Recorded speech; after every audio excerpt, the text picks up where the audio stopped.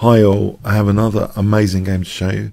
This is with the classic Leela ID 11248, one of the strongest ever versions of Leela chess going, and it's against the mighty Stockfish 10, just hot off the press, available for download at the moment, now on the website. So this is by David Grosvenor. He uses a time control fast and furious 40 moves per 2 minutes with a 2 second increment per, per move. The opening, c4, starts with an English opening, transposes into a Queen's Gambit accepted kind of thing. Queen a4 check, knight c6, end of book. Now, there is a slight downside uh, for White's Queen coming out, can be subject to a lot of tempo gains. On the other hand, if White can get away with that, sometimes the centre's quite good here. Let's see what happens. Knight f3, knight d5 queen takes c4. Now the queen is hit, or no, not yet, but black is now threatening knight c2 and potentially hitting the queen with bishop e6. Queen b3, bishop e6. Awkward, very awkward looking. Uh, so here, if the queen retreats, black might consider knight takes d4. We have the queen keeping a pin on the c6 knight. It looks pretty precarious for white to do this. A bit indulgence maybe. Bishop d7, queen b3. Now instead of repetition, Stockfish goes for it. e5. Uh, trying to accentuate rapid development and potentially castling even queenside. We see knight a5 again kicking the queen. And now bishop e6 offering the trade of queens. This would be really dangerous to take on d8. It would be accelerating black's development even further, and black would have a mighty threat of knight takes c2. Let's just look at this. I've won many a crushing game in a similar sort of position with this accelerated development. It's just too dangerous for white to bear. And in fact, a move like this, knight c2, is actually checkmate. So Leela has to be treading very, very carefully. This is a key move, and one which also annoys me when I see it on the board. It actually serves to really neutralize some of black's counterplay, so not helping black at all. Uh, queen d7, g3, black gets on with castling queenside. It's a ferocious looking position. It looks surely that this gambit is totally justified at this moment. Bishop g2, because these pawns are also just doubled as well. Knight c4, and these knights look very aggressive. a3, knight goes back. On knight takes b2, white can play queen b1. Safe enough, it seems. And then black is losing one of the knights. So one of the knights is at least repulsed back. Bishop f4 holding on to that extra pawn. Queen takes. Now knight takes. That's important. If rook takes, then there's knight takes b2. That's going to have a small edge there. So knight takes. Still a pawn up h6, g5 to try and undermine white's e5 pawn. That's stopped. Rook d7, rook b1, which frees up the d1 knight now from duty of b2. Bishop c5. Now, if white casually castles here, if Leela casually castles here, it seems black can play knight d4, so that hits that e2 pawn. And if white takes, this looks pleasant enough for black. This kind of scenario, c6, and there's threats like knight takes a3 here. Uh, if black plays knight takes b2 here, for example, there's knight b5, leaving black pieces hanging. If the bishop moves, rook takes b2, and uh, so at the moment it's a bit too dangerous. But with black playing c6 here, this position it gets awkward. It gets quite awkward. At least black's equal here. For example, this, black's got a big advantage if the knight went back. So if white has to play something like this, then it looks at least an even position. So very interesting decision here is now, uh, instead of castling, Leela goes for trebled pawns in the centre with knight e3. It's another way of neutralizing the pressure, but at what structural cost? Is this? This looks like a mess Take, bishop takes e3 was played, inflicting trebled pawns basically. On knight d4, it seems knight takes d4. This position uh, is uh, good after rook c1. These rooks are embarrassed. They're a bit of a liability here. Knight takes, e takes, and here b3, just winning material. So bishop takes e3 is played. f takes e3. And to be honest, I'm reminded, I'm taken back to a scene in a classic film. I love the Star Trek movies. And there was one, there were three, three of them singing. First of all, it's like a rowing boat team, you know, like the rowing boat teams here. and they're sort of rowing together. Uh, we've got the rowing boat team, but I'm also reminded of Kirk, Spot, and Spock, then a Nimoy, and McCoy singing Life is but a dream, row, row, row your boat merrily, merrily down the stream. Uh, anyway, there's a good clip on YouTube if you want to check that out. For some reason, I'm reminded of that. So, anyway, is this rowing boat team here any good in this position against Stockfish 10, no less? Is this a good time to have such structural damage? Would you accept such structural damage? Or are these pawns controlling key squares? Rook e8 is played. What can white actually do? What can Leela actually do here? The rooks are very distantly, they're not connected at the moment.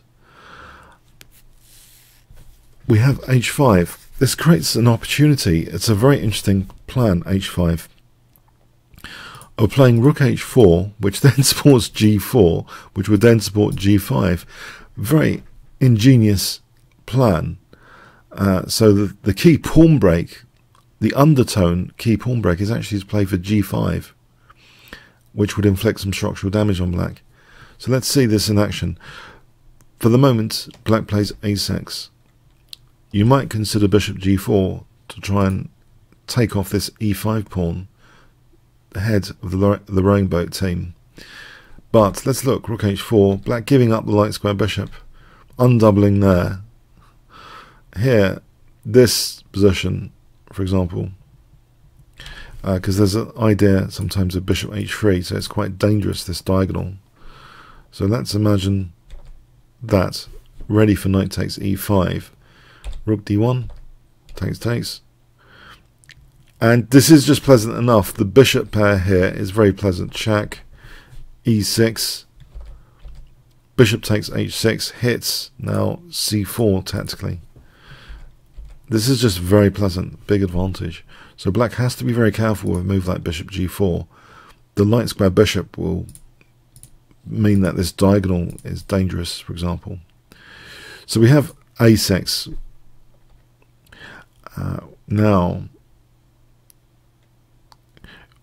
sorry, just one more time in this variation though. Bishop g4, let's just take this again. There's one little thing I would like to show you.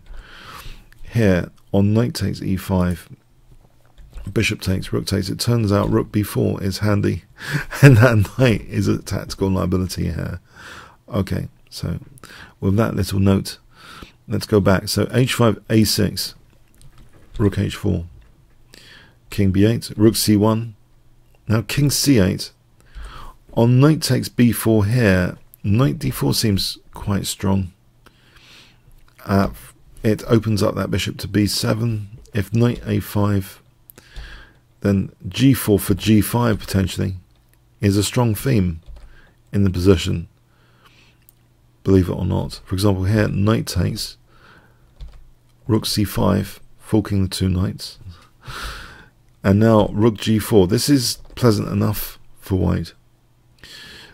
So we have king c8 and now protecting the b2 pawn knight b6 knight d2 knight d8 yeah white is actually with knight d2 unveiling an attack on c6 so bishop takes c6 threaten knight d8 parrying bishop e4 interesting centralization. Protects the rook of course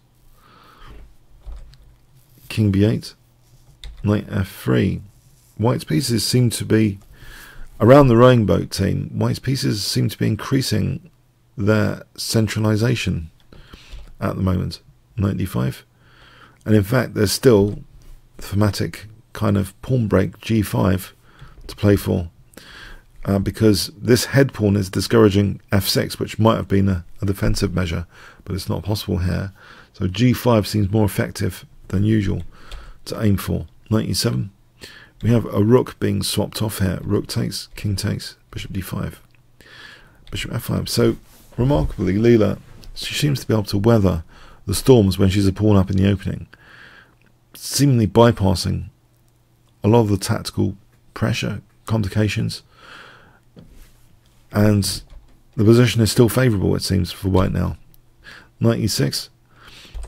Knight takes f5 doesn't help black at all, really, undoubling the pawns there. Rather, sorry, not undoubling the pawns, but rather bringing this pawn duo together is not to be recommended. For example, here rook g4 as well, hitting g7. That's going to be great for white, this ending after e4. That g7 is a big target, big advantage for white. So knight e6, rook h2, c5, bishop g3, king c7.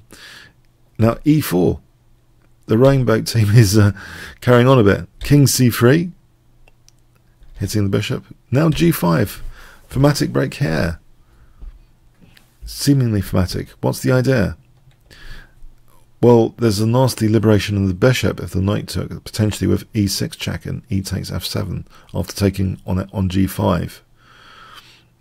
Uh, that sort of thing is avoided with h takes. But now bishop takes, giving up the bishop pair. Why? Knight takes g5. It's opposite colour bishops as well. Doesn't this increase drawing chances? Knight c6 knight h3, b6, and now bishop h4. This pin with knight takes e5 is too much to bear after bishop g3. That would be too dangerous, it seems. So we have rook f8. Now rook g2 hitting g7. Interesting position. But there's a tactic shot here. Bishop takes e2 to try and fork the king and the knight. But Leela takes this pawn with check instead. So rook takes e2 is nothing. That's check, and then this is horrible. Black's better. So rook takes g7 check. Now bishop f6. And it seems in this simplified position, well, after taking out this pawn, otherwise this is very, very dangerous pawn, has to be taken out. But look at this position here. So Leela's given up the ghost of the extra pawn, but this is really dangerous for black. Tied down to e6 for a moment. a4. We have c4, and this is out of desperation. It seems almost this is a zugzwang, zugzwang position in a way, because bishop g8, there's knight g6. For example, here there's bishop e7. So knight takes here, there's knight takes e7 check, winning the bishop on g8. And if black doesn't then take, then bishop d6 is super strong with ideas like this. It's just nasty, really nasty position to be in. So that's to be avoided. So let's imagine we can rule out bishop g8, but king c7, then there's knight takes e6 check, end of game immediately because of that pinned bishop. Knight a5, that releases control of e7, weakness of the last move. There's bishop e7, kicking the rook away and then taking, thanks very much, winning. King b8, there's a5. So if now knight takes, there's bishop e7, and if b takes, there's king c4. It's all pretty grim for black. This king crashes through here. It's all really grim, hence this seemingly desperate, ridiculous move, c4, giving up a pawn. Back to being a pawn down after all that. Bishop e8. Now we have the move b4. Okay, maybe a little tactical trap here. Bishop f7 uh, on knight takes e6 is amusing, but uh, that's ignored. Knight d8. And now if bishop takes, the a4 pawn's hanging some variations. For example, if bishop takes, this didn't happen. Takes here, takes, takes, takes. Should be equal. So b5 protects at least the a4 pawn. And the pressure is really on black here. Look at this bind, endgame bind that black finds itself in. a takes, a takes, bishop f7, king c3, rook g8, we have rook h7. Now there's a threat of bishop takes d8. Stockfish plays rook g4 here.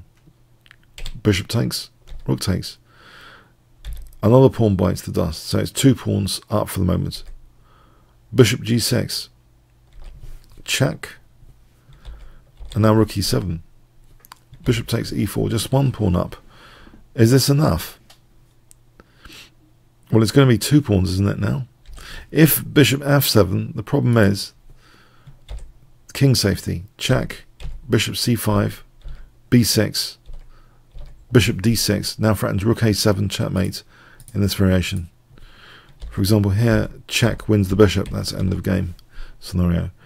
So we have rook, sorry, we have bishop takes e4, not bishop f7, so rook takes e6, two pawns up, but it's opposite colored bishops.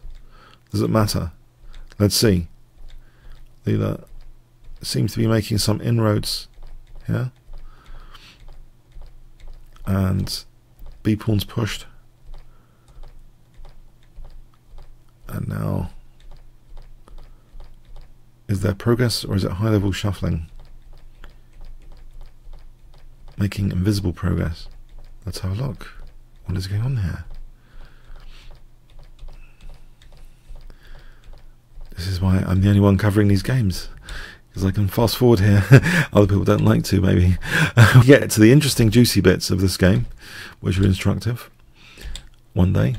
After rook takes f6, yeah, we have Aurora ending. So why did why did Stockfish do that here? It seems to be getting desperate to want to do that. Well, it looks as though white is making progress. So, okay, that's what Stockfish decided at move 102. But this endgame is now, it seems achievable. White can make progress via Zugzwang and stuff. The king, um, actually the game ended here. The game ended here. It was adjudicated as a win for white. But there is a way that the white king now just goes over to the other side of the board basically, herds the pawn, wins the bishop, and then comes back for the f pawn. So that is a totally winning position. Let's take it to the final position of the game. Yeah, so the classic Leela 11248, one of the highest ever ID versions.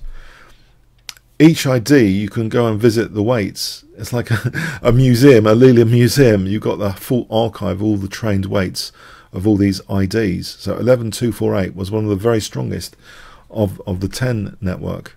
The 20 network had to be abandoned, but the 30 network I'm, I have good hope for, and so do many others that it's been rapidly improving recently. It's about stock, Stockfish, at least Stockfish 7 level at the moment of this video, at least Stockfish 7. Uh, so very, very exciting project. But 11248 or thereabouts will be uh, in the next like major TCEC tournament, TCEC. Uh, but yeah, it can be dangerous even against Stockfish 10 on faster time controls, as this shows.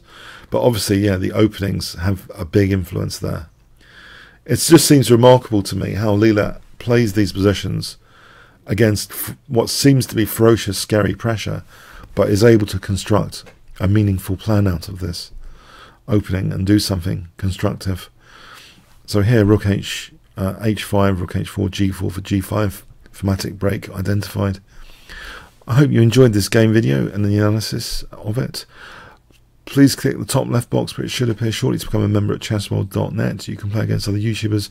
You can also check the analysis of this and other games on the improved menu Learn from the Masters YouTube order. Comments, questions, donations, see the description. Like, share, subscribes, hit that notification bell. Also visit my Teespring t-shirt shop for form pawns. All really appreciated. Thanks very much.